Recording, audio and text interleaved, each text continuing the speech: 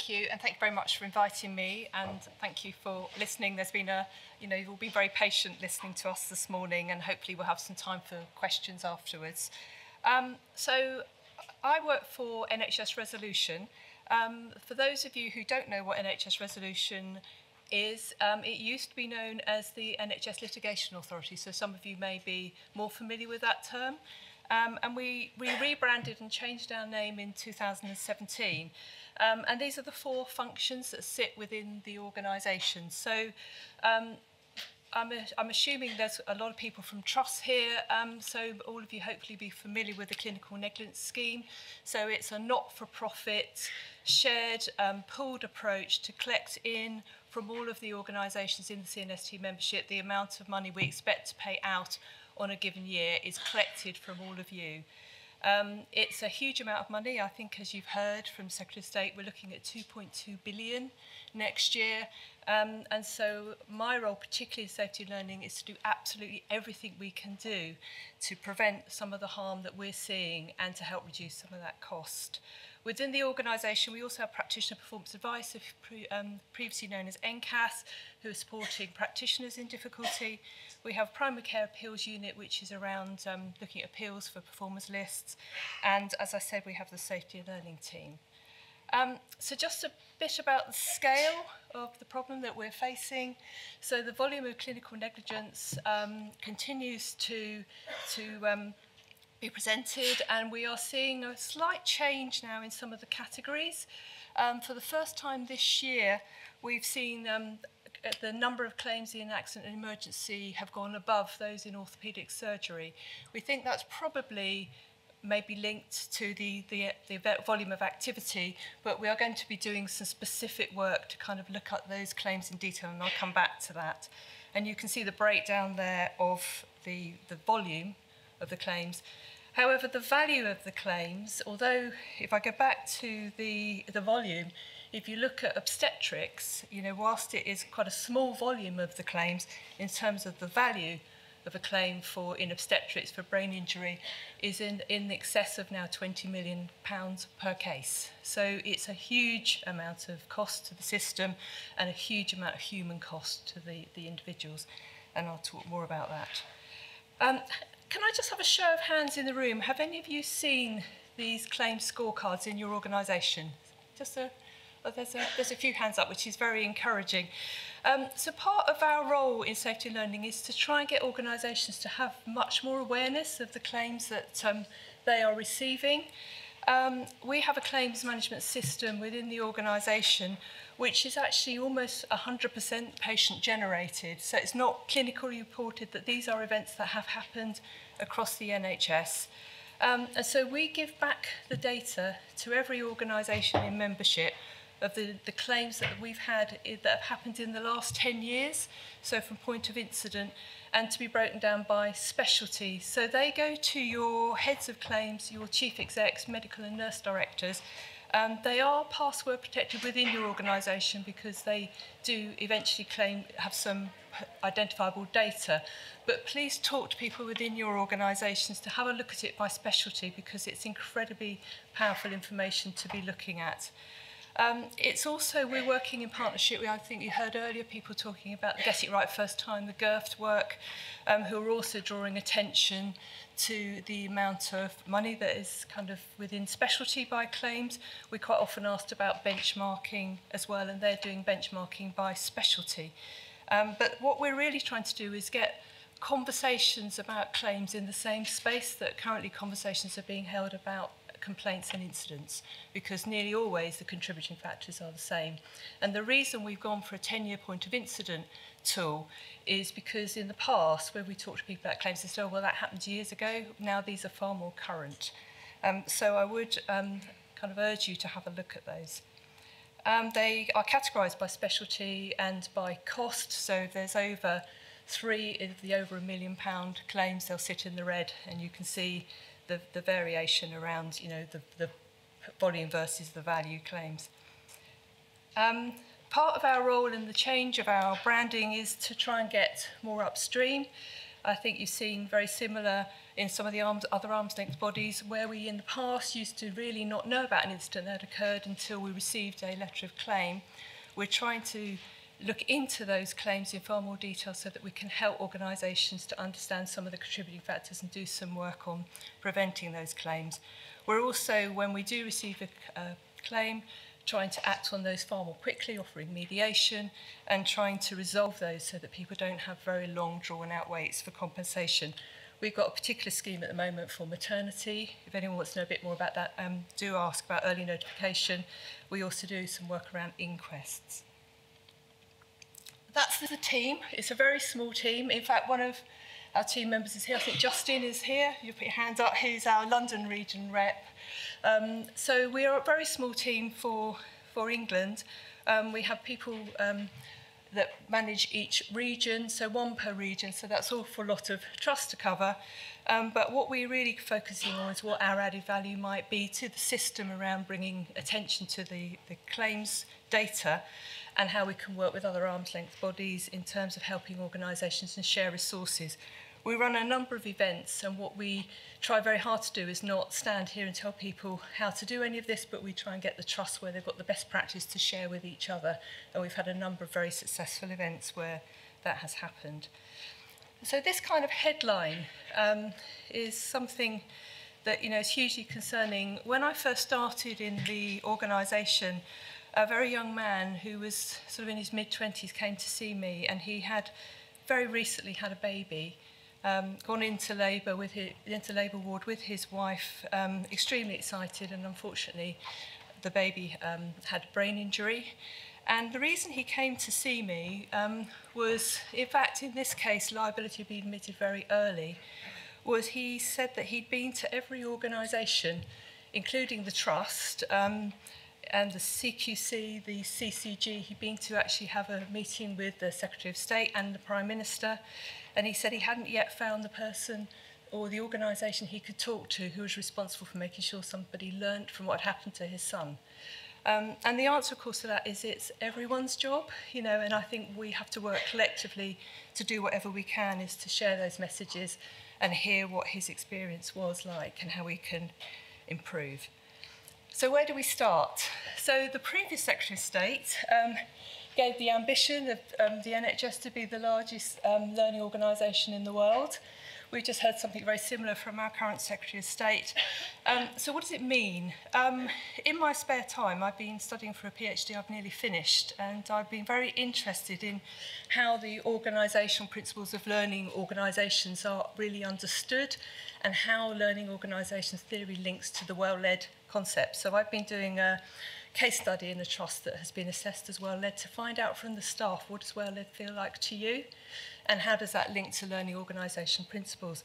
And I'll come back to a little bit about what good looks like in this organisation because the first thing that's very obvious in the trust that I've been working with is the consistency. No matter who I spoke to, they said very similar things. So it was um, a very kind of, it's quite a powerful thing to hear is particularly in the culture of no blame, and I'll talk a bit more about that, but also in the way that they were very supportive of each other as colleagues in that organisation. So part of our um, work is very much about partnership with families. Um, we try and work with families. Whenever we have events, we get the families to speak and share their experiences. And particularly, we have a, a lot of work going on about supporting staff. So when we talk to families, without exception, regardless of the level of harm, this is what they all say. Um, and without any exception, even if they are due a very fair, large amount of compensation, their starting point of what they're looking for is someone to say sorry. And that is very much NHS Resolutions policy. It is always the right thing to do to say sorry. And real apologies, not that I sorry you feel that way, but real genuine apologies about what's happened and a commitment to investigate. Um, they want to be heard, they want a fair, independent investigation to be involved, um, that to be compassionate and signposted to support where appropriate. We've recently commissioned some research which looked at some of our, our lower value claims and interestingly, very much the same messages were coming out. So what we don't want is a situation where people feel that the only way that they can get an answer is to make a claim And often you hear that from some of the public. It was the only way I could get them to listen was, was to follow that route. And in some cases, actually, patients have been directed by the NHS to do just that. You know, so if people are due fair compensation, that's absolutely the right process.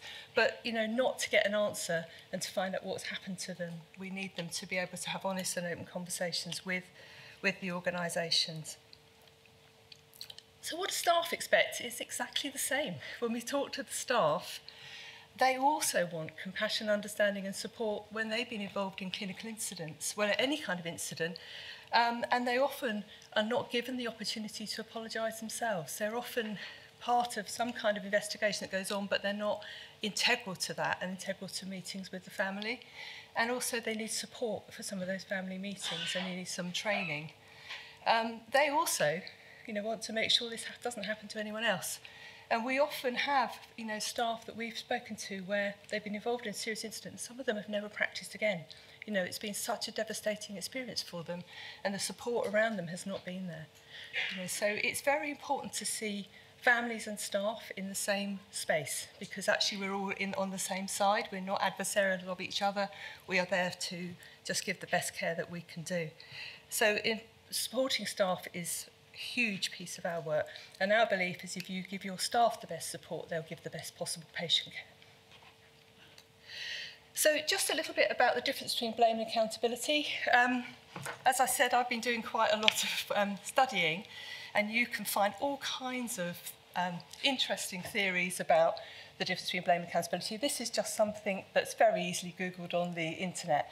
And I think it's a simple explanation about what the difference is. So this is some work by Rick, Rick Bremer, who's talking about the difference is, is that when you talk about blame, you're really talking about being blameable and punishment. When you're talking about accountability, you're talking about people being able to be answerable to what went on and to be part of the finding the solution to that.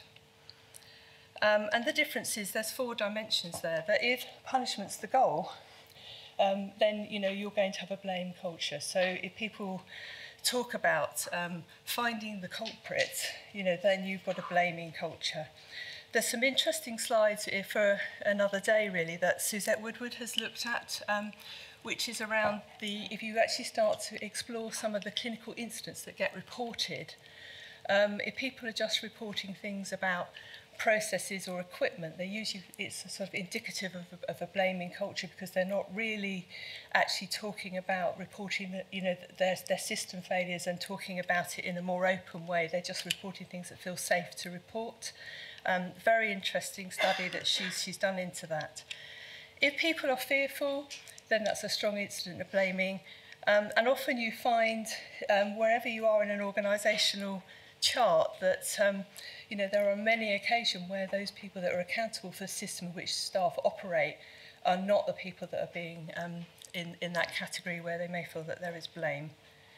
Um, and if you really want to sort of find people that, if you look at a system versus a person, um, a process around accountability, you'd have a very long list of people I can recall very long time ago when I was a uh, director of nursing looking into a very serious incident.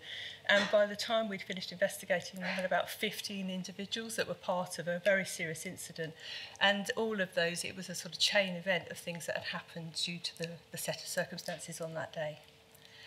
How many of you seen this? A show of hands, anyone seen this?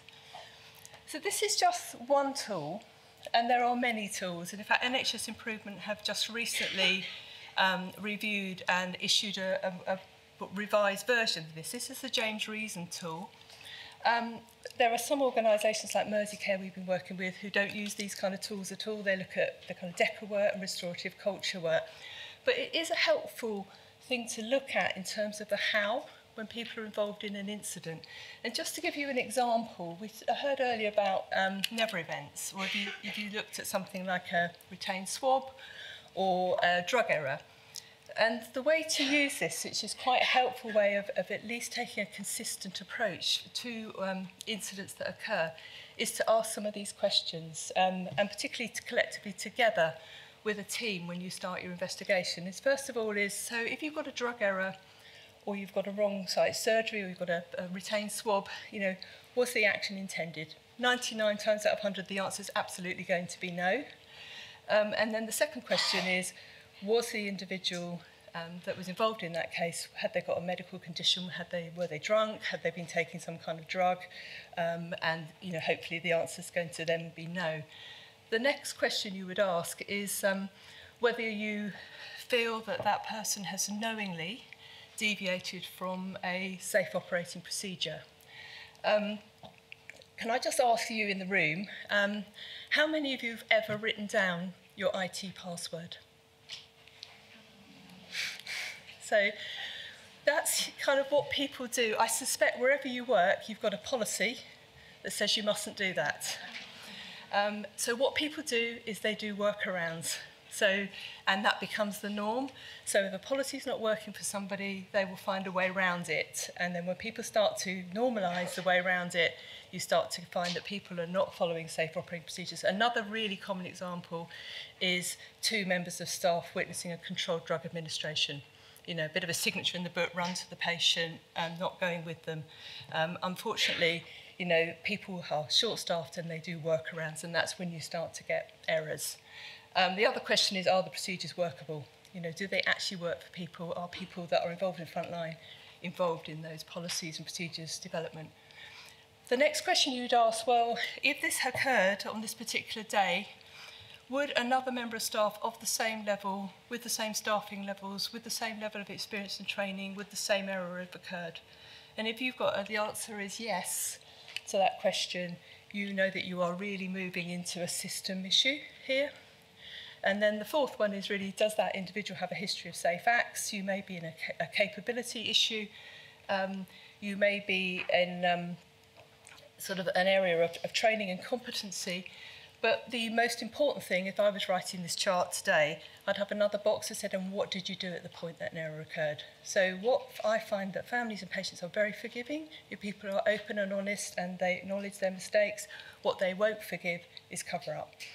You know, people not reporting incidents and, and not seeking the help that they need.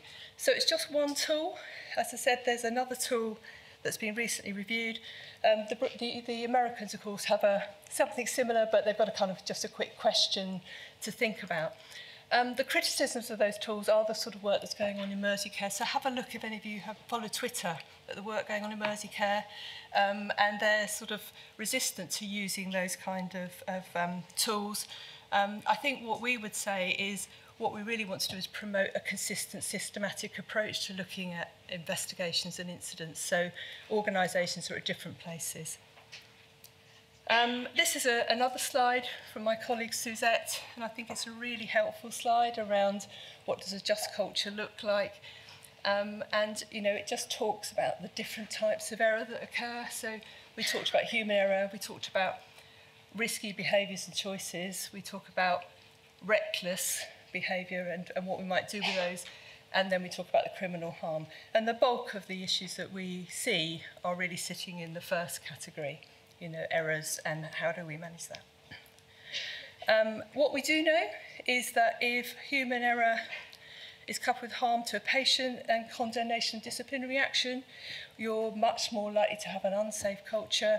Um, I've done a lot of work over the years with Never Events. I think beware the organisation that has not been reporting Never Events. It doesn't mean they haven't got them. It's about the reporting that's gone on. Um, and so it's absolutely um, important that people are not fearful of speaking up. Um, we know that disciplining employees um, for honest mistakes does little to improve safety. we we are about to release some guidance that we've been working on, which is around the inequities around staff and disciplinaries across the whole of England. We've been working with Roger Klein on that. Um, and what you can see is huge variation between organisations and the need to have a much more consistent approach. Um, and the work on Merseycare, which I would highly recommend, has just shown how they've turned that around significantly. Um, suspending staff is you know hugely stressful for members of staff but it's also extremely expensive to the system um, and it's something that you know I think should be the absolute exception not the norm and you'll see if you look around the country some real huge variations in that um, just some to finish just some of the work we're currently doing so as I said we've just appointed a clinical fellow and we are tending to appoint um, clinical fellows on an annual basis. Last year we had a report from Alice Oates that you might have seen, which is about um, claims related to suicide in mental health care services. Um, the year before, Michael Madrow on five years learning of claims in cerebral palsy. Um, this year we're going to be focusing on um, claims in emergency care, as I said, that have, have the volume of which have increased. We've, we're doing some work with our expert witnesses around feeding back some of the kind of avoidable factors that they're seeing when they're reviewing some of the claims. And then we have a whole range of pieces of work that we're doing, which we call the Faculty of Learning, as some modules on tools and resources to help all of you. Um, and if you want to know anything more about any of these, please have a look on our website and we can direct you to some of the resources that we are using. Um, those, as I said, just some of our publications there. They're all on our website. Please have a look at those. Um, and as I said, there are, you know, probably our most popular leaflet is the saying sorry leaflet. I think what's helpful that it sort of talks a little bit about the how. And I think just to finish, um, I'll go back to sort of some of the lessons I've learnt from what does well led look like. Um, in the organisation that I've been studying, um, without exception, there's nobody I spoke to who didn't say anything different around the way in which they were supported when they were involved in incidents. What this organisation is very tough on is poor behaviour, rudeness, incivility, um, and actual some of the things we heard earlier about failure to agree to follow this, the checklist. You know, they've got staff that are you know voicing that. They take that very very strongly. The other thing I found, just as an aside, is an interesting view about hierarchy.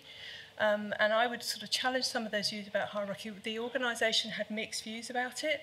Um, they wanted staff to be accessible, they wanted the senior team to be accessible, they wanted informality, they wanted to be able to talk and speak, but at the same time they did want a degree of hierarchy structure which helped them feel safe. So my kind of challenge to some of that debate about hierarchy is it's about hierarchical behaviours, and I think that's the bit that we need to, to take some um, work forward on. So thank you for listening. Thank you.